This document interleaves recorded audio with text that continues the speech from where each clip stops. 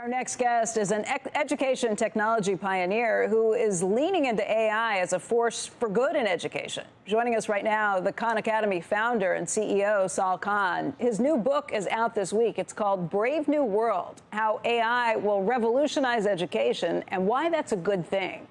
Sal, thanks for joining us this morning. Thanks for having me. I, I think this is something that people who have not been paying attention are going to sit and think, what are you talking about? Because AI is what's destroying education. Everybody's using ChatGPT to write their essays. Explain why that's not a bad thing and how you think it's actually going to be a good thing. Yeah, and everyone's very familiar with the underlying technology in ChatGPT, but I think the, the main issue is ChatGPT was not built for education. So as soon as it came out, and I remember we were under a non-disclosure agreement with OpenAI at the time. We were working on what became Khanmigo, which is our okay. tutor and teaching assistant on Khan Academy.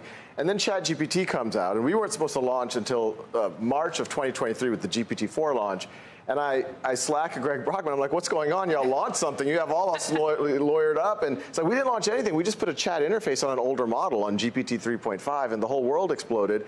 But immediately, schools saw, hey, kids are going to use this to cheat. They started banning it. And that wasn't irrational. And, and by the way, kids are using it. I, I, they I are using it. all over the some place. decent use cases and some not so good use cases. Yeah. And I was bummed at first. I thought the whole system's just going to give up on AI. But the, the good news is when we launched in March of 2023, the school system said if only someone took the technology and put it in a framework where it can help the student but not cheat. Like not give them the answer. Not give them the answer. Them exactly. Teachers can have oversight. There's data protections in it you don't, it's not all chat interface. You can have interfaces where a student can write an essay with the AI, not by the AI, and then the AI can, can tell the teacher the process. So then now the teacher, that's actually a, a way to avoid cheating. Which the teacher can tell, and by the, the, the chatbot can say, hey, this is not the normal writing for this student. It's not consistent with what they typically do. We worked on this, or if they did do it, yeah. it, it is consistent, and we worked on it for four and a half hours, and Sal had trouble with the thesis statement. And that gives teachers a lot more information and actually undermines all forms of cheating. But how, how do you, how much do you worry about? You can go online right now. I actually just saw one recently where someone said, you know, if you have this paper, the way to do it is you're going to do it on ChatGPT, separately do the same prompt in Gemini, do another prompt and do the same paper in Claude. So you confuse your. No, no. Then you put it into tracks. this other program I never even heard of that jams it all together. Then you take that version, you go back into one of the other ones, and you say, write it like like I would, uh, like using their their. No, it was a lot of work. This is three minutes compared to, to, to, three weeks of work, right? And then out comes the paper, and you can get. I mean, that's what's happening, and it's happening all over the country.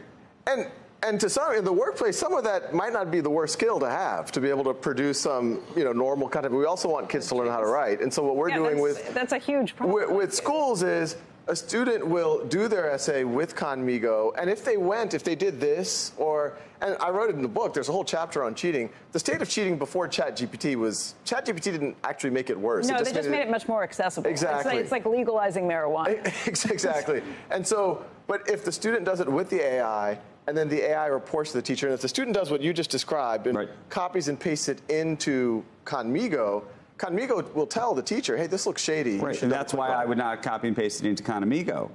Well, but that's how you're going to need to submit it. You're saying it's the only way. So the only it's way the only is way. if the, the teacher and the school is actually using exactly. saying you must exactly. go through this. There in fact, will it's, be no it's, turning in a paper. Unlike otherwise. most things in technology and education in the past, where it's like this is a nice to have, I think this is a must have for a lot of teachers. Is, is Khanmigo free or schools charge for this? How does this work? Yeah, so this has been interesting for us because our mission as a nonprofit is free, world class education for anyone, anywhere. But then when we came out, as we all know, these frontier models, GPT-4, Gemini, they use a lot of computation. It's not cheap.